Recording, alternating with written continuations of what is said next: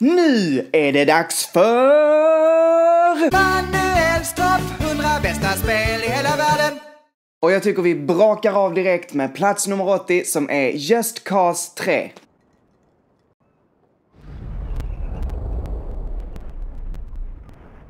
Just Cause är så otroligt actionlökigt så att de slår över och blir coola igen. Det är samma fenomen som med Expendables-filmerna. Man har tryckt in alla de klassiska actiontroperna i ett och samma spel. Vad sägs om eh, alldeles för dåliga one-liners, alldeles för stora explosioner,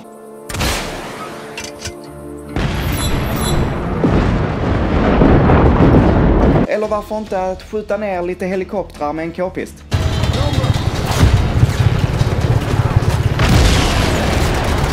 Allt det får du i Just Cause 3 fast uppvridet till 120 miljoner. I spelets handling får vi följa supersoldaten Rico Rodriguez som kommer tillbaks till sitt hemland och upptäcker att det är styrt numera av, ja du gissar rätt, en galen diktator. Så det är vår uppgift att störta den där jäkeln. Just Cause 3 är otroligt tillfredsställande. Jag ska ge er ett exempel. Jag har snott en bil, jag kör den bilen rakt ut över ett stup. Precis då kommer där en helikopter. Så jag hoppar ut ur bilen, grapplar mig till helikoptern, snor den också, eh, tar mig till en fiendebas, kraschar in helikoptern i fiendebasen och erövrar den. Eh, med hjälp av en bazooka såklart. Det är sånt här Just Cause is all about. Okej, nummer 79 är Tomb Raider från 2013.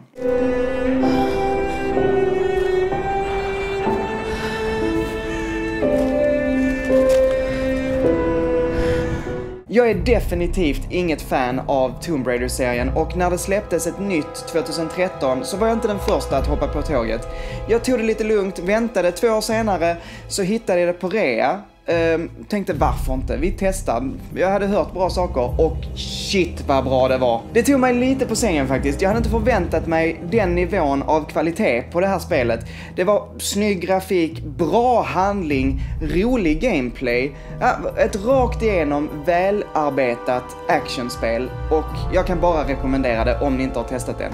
Nu kör vi vidare. På plats nummer 78 hittar vi Mario Strikers Charged Football. Och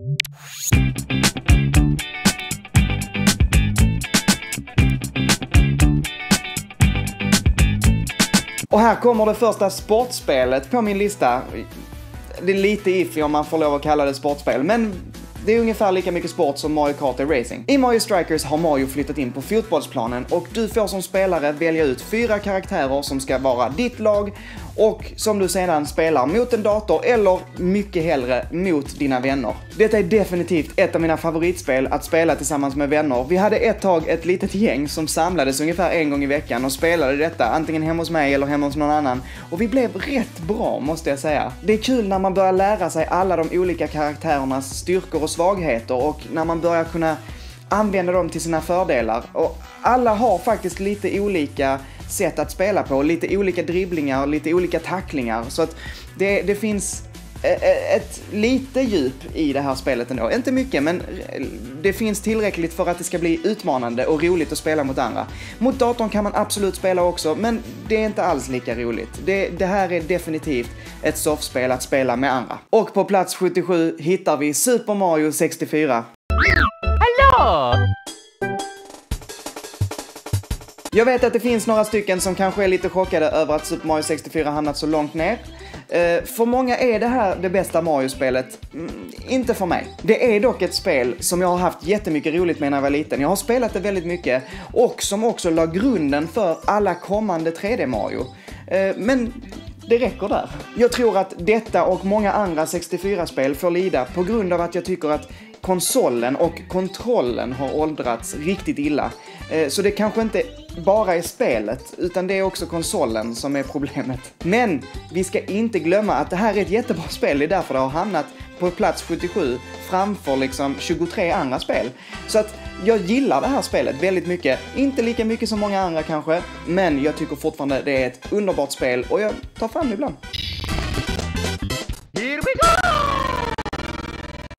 Nummer 76 är Tony Hawk Pro Skater 3.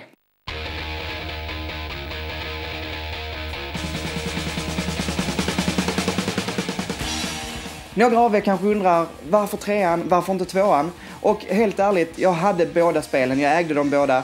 Men jag spelade trean lite mer, så därför fick den ta platsen. Men egentligen skulle båda kunna passa här. Det är svårt att förklara hur otroligt coola Tony Hawk-spelen var när de kom ut. Det var liksom, ingenting toppade det.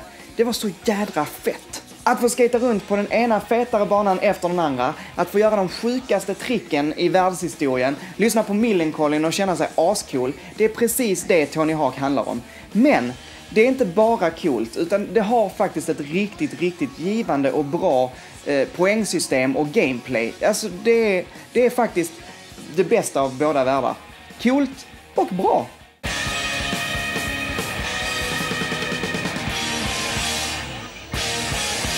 På plats 75 hittar vi Titanfall 2.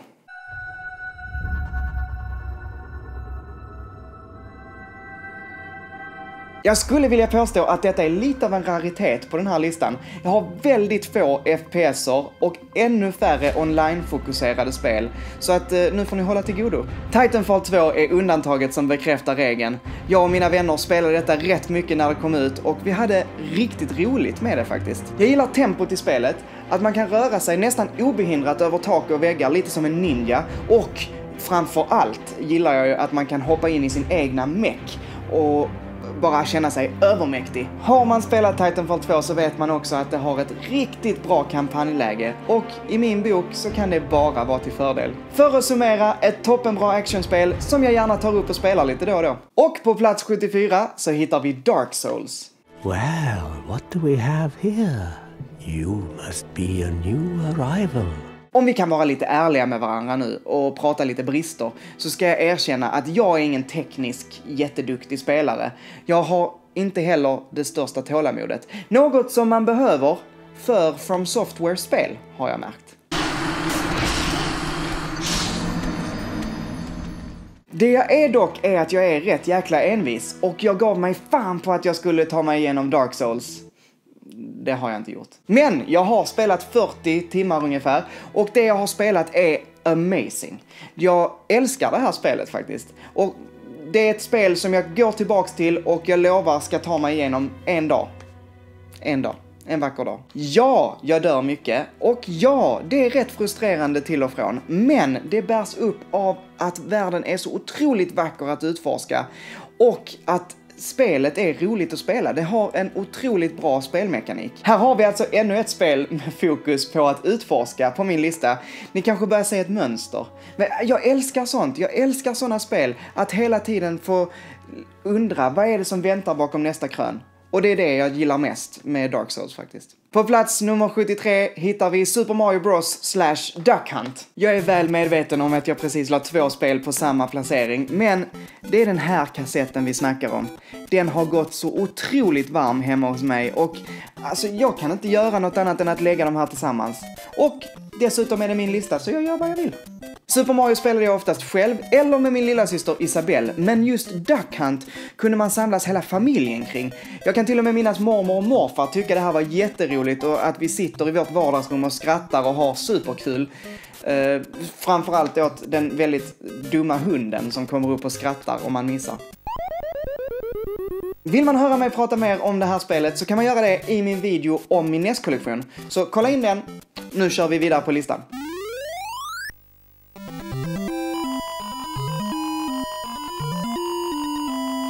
Nummer 72 är XCOM Enemy Unknown.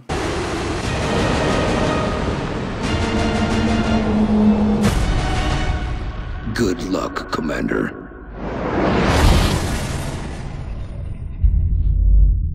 Jag hade aldrig hört talas om XCOM-serien förrän de utannonserade det senaste spelet, XCOM 2. Eh, jag blev rätt nyfiken, laddade hem ettan på Steam och Gisses vad jag blev fast. XCOM är turordningsbaserad strategi där man slåss mot en alienras som försöker ta över jorden. Man har ett gäng soldater som man skickar ut från sin bas och skulle någon av dem dö så är de borta för alltid. Spännande, riktigt svårt ibland och jätteunderhållande. Sista spelet ut idag är plats 71 och det heter Dead Space.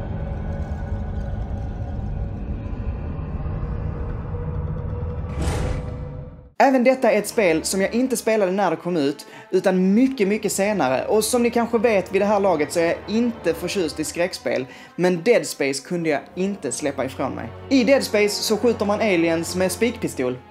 Typ. Man har hamnat på en strandad farkost långt ute i rymden och du behöver få igång skeppet igen för att kunna ta dig hem.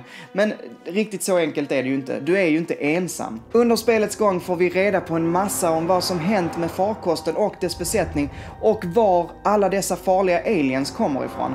Har man inte testat Dead Space så rekommenderar jag det varmt. Och där sätter vi punkt för den här gången. Jag hoppas att ni gillar min lista så här långt. Gör ni det, skriv en kommentar. Gör ni inte det, skriv en kommentar ännu hellre så jag får höra vad ni tycker jag borde ha gjort annorlunda. Eh, och som vanligt, jag finns på Instagram, jag finns på Facebook. Eh, skriv till mig, gilla, prenumerera. Vi ses nästa gång. Ha det gott. Hej!